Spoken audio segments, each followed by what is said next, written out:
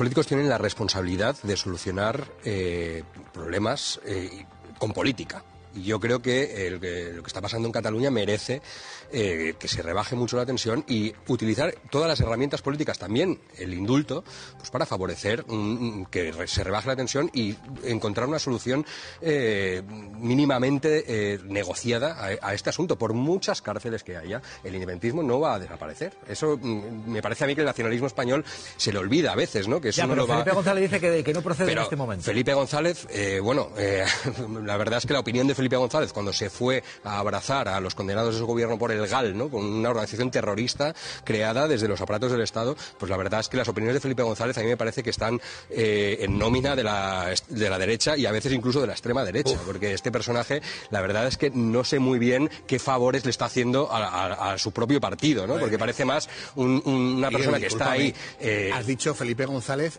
de la extrema derecha, por favor. He dicho que está haciendo un buen que- favor a la extrema Ah, derecha. Yo creo que debemos Bueno, de no sé, respetar cada uno a que los saque sus conclusiones. de, todo, de todos Pero los gobiernos las lecciones de España. que pueda dar Felipe. González eh, a la izquierda me parecen que es un chiste, ¿no? Porque realmente No, evaluando un izquierda, poco porque este la trayectoria de este un personaje, es un- es- pues me parece que es del una del persona Partido que Socialista poca Obrero izquierda, poca izquierda toma en serio Felipe pero los- González los a esta altura. chinos ya ¿Cómo sabes. que tu poca, Poca izquierda toma- Aquí, tienes, aquí, aquí ha salido unas declaraciones que hemos visto ahora mismo de un presidente de una comunidad autónoma que pertenece al Partido Pero Socialista aquí Obrero el problema es y que dónde no creo que sea la extrema dónde derecha. sitúa cada uno la izquierda, porque para mí eh, hay mm, demasiadas personas que se Ah, etiquetan de izquierdas que habría que ver luego con sus hechos si realmente responden a esa descripción ideológica o realmente simplemente se cuelgan unas siglas. ¿no? Me va-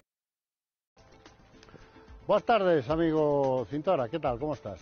Pues yo tengo el máximo respeto por la opinión de Felipe González.